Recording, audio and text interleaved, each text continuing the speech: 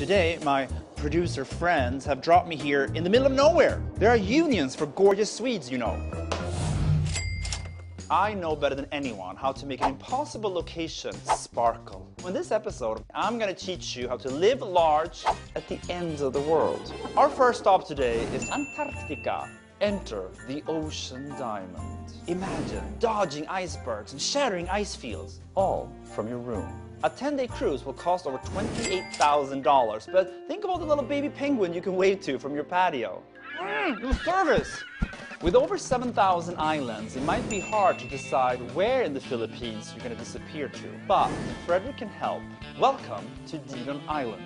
How adorbs are these ponds? They're called nest rests, and they're designed by the island's owners. This island is one of the only places in the world where you can catch cloud nine. The rooms alone run over $2,400 a night. If you insist to being outside and connecting to nature, you can glamp it up at the resort Paws Up in western Montana. Your days will be filled with horseback riding and fly fishing. What? Why are you laughing? But after all of that, you're probably gonna want to crash back into your tent, complete with electricity, on-site bathroom, and personal butler. I mean, just like Lewis and Clark had, right? No? My God, we did it! One small step for me and a big giant leap for Kaching kind. Tweet me all the places that you like to explore. Don't forget the hashtag Kaching. Bye!